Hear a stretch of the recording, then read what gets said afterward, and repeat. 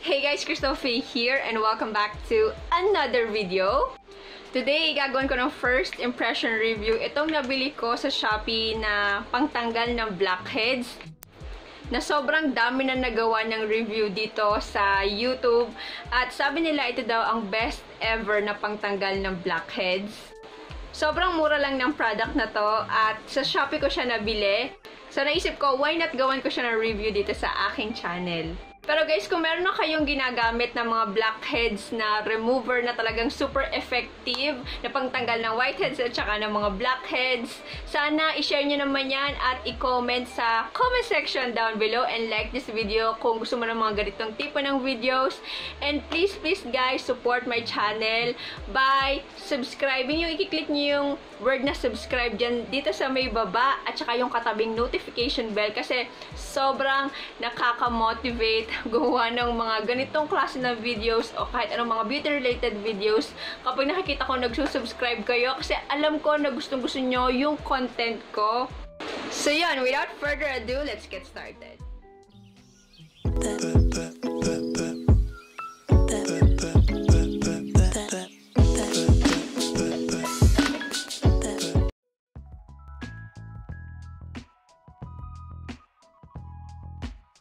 So guys, ilalagay ko na lang yung link ng shop na nabilhan ko nito sa Shopee. Guys, make it habit na basahin nyo yung description ng aking mga videos. Doon sa description sa baba kasi very informative nun. So, kapag meron kayong mga question or bago kayo mag-post ng question sa comment section, make sure na yung mga tanong nyo ay wala sa description at saka sa video. Yun. Pero kung wala talaga, um, pwede naman kayo magtanong. So, kayo mahiyang magtanong, i-leave nyo lang yung comments niya sa baba. So, ganito yung itsura ng product. Yan. At, ang alam ko, ito ay from Thailand. Kung baba, mababasa ko siya ng tama, ang pangalan niya ay Gel Hot Man. Yan, hindi ko alam. Sorry kung mali ang pagkaka-pronounce ko. Tapos, Gel Hot Man, tapos may white. Tapos, parang may aloe vera na drawing. Tapos, may mga nakasulat naman, pero yung parang ano na, siguro pang Thailand na ano to salita. So, hindi ko nababasahin kasi hindi ko din naman alam yung ibig sabihin. So, yon maliit lang siya, ganyan. Tapos, dito siya nakalagay sa ganitong plastic, yung may ziplock. And, meron siyang kasamang mga paper. Ganito, parang mga, parang, uy, mabango ah. Tapos, parang, hindi ko alam kung saan ko ito mahahalin to. Parang, manipis pa siya sa bond paper. Plastic yung container niya. Tapos, nasa baba, um, may nakasulat. I assume ito ay yung kanilang manufacturing date at saka yung kanilang expiration date. Pero kasi, hindi ko alam yung mga ibang word na nakasulat. Kapag inopen natin siya, yan, nakasil pa siya. Meron siyang parang takip yung plastic para hindi maglilik siguro sa mismong takip. So, tinatanggal ko lang. Pagtapos, yung amoy niya, ooh, medyo matapang yung amoy. Parang pabango na lalaki o deodorant ng lalaki. Medyo matapang yung amoy niya, pero carry ko lang to. So, lagi ko lang to dito. And, puno siya. Hanggang dito. Ayan, ito kasi yung parang lalagyan ng mismong takip yung iikutan. Hanggang dito yung product. Puno siya at medyo malabnaw na puti. Pagtapos, pag hinawakan, oh, malabnaw siya. Ayan. Parang, parang glue. Parang siyang glue. Parang, parang Elmer's glue. Yan, ganon. Yun. Madikit. Wala namang instruction na nakalagay dito. So, gagawin ko na lang yung kagaya ng mga napapanood ko sa ibang nag-review nito na naglagay sila sa ilong ng product tapos tsaka nila nilagyan ng paper. So, itatry ko na siya. Tapos tsaka ako sasabihin yung thoughts ko about sa product na ito.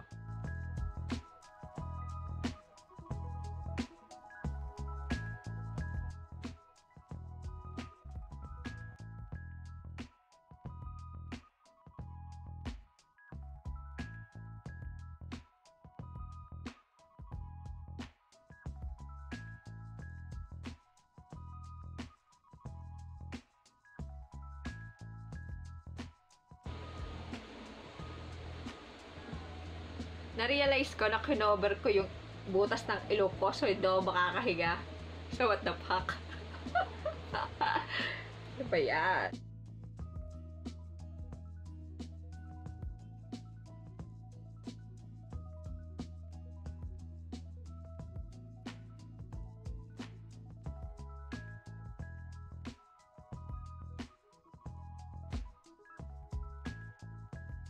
O, di ba? Pag minsan talaga, para maging maganda, you have to look weird AF.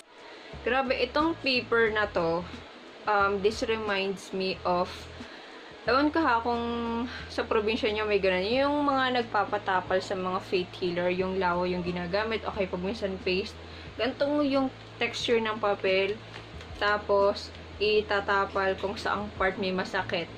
So, comment down below kung na-experience yun. Kasi ako nung bata ako, lagang pinapatapalan. Kasi naging sakitin din talaga ako. And daw nga pala, kaya ito lang yung mga parts na nilagyan ko. Kasi, ako kasi, yung mukha ko, pag tinignan mo, parang wala namang akong visible na um, blackheads talaga. Pero kapag hinawakan mo yung mga part na nilagyan ko, ano siya, um, parang magaspang siya. Ibig sabihin, parang hindi makinis. So, I assumed na meron yan. Siyempre, meron yan. Imposible yung wala. Hindi mo ako artista. So, para mawalan niya ng um, mga blackheads, blackheads, whiteheads, whiteheads. So, yung napanood ko nito, um, nag-intay sila ng uh, 15 minutes to 30 minutes. Pero ako, okay na sa akin yung 15 minutes. Tapos, basta matuyo-tuyo na yung pakaramdam. Tapos, wala nga parang nakalagay sa face ko, kundi lip tint lang. So, kaya, ano, hindi ko na siya nilinis bago ko lagyan ng mga ito. Okay, so naka 15 minutes na at feeling ko tuyo na din siya. So, tatanggalin ko na.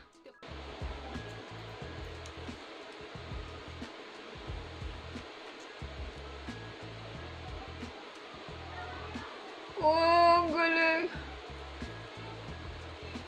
Ouch. Ouch lang ng konti. Uy! What the? Ah. Try natin ta. Ow. Medyo mahigpit dito eh.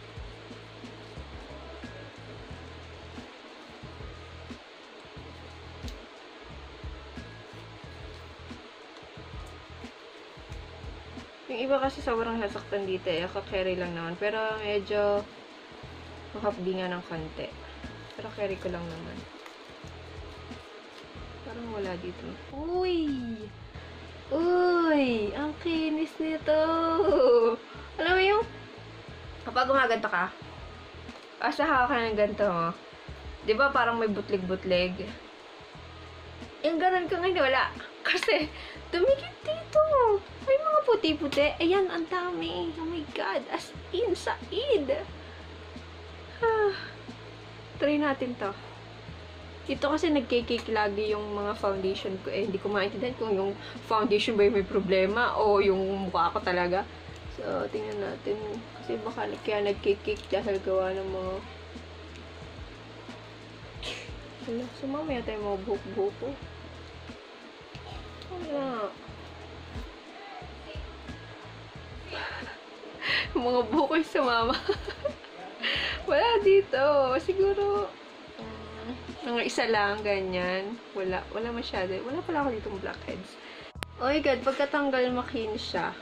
Yeah. Wawash ko lang tong ilong ko. O, iwawipes ko lang. And then, I'll be right back. So, ayan. I'm so back. Baka may dumi pa yung mukha ko. So, yan. Grabe. Alam nyo, okay to. Alam nyo yung, uh, merong, nung tinignan ko siya sa salamin, yung malapitan, nung pagkatanggal ko nitong yung papel, parang merong pang natirang parang nakaultaw. Tapos, nung pinunasan ko siya, natanggal siya agad. Tapos, yun, soft yung feeling. And, hindi naman siya yung parang dry.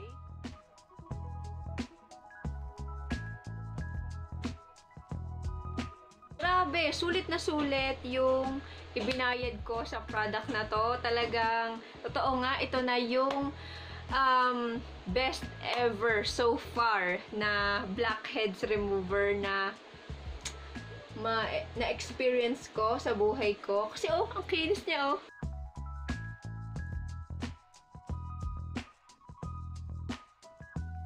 Kung meron akong ayaw, siguro, um, sana meron silang spatula, yung malit na spatula. Kasi, oh, ang dumi. Yun lang. So, medyo makalat siya. At saka, sana, um, hindi lang siya online na bibili. Sana meron din siya sa mga supermarket o kaya sa mga grocery.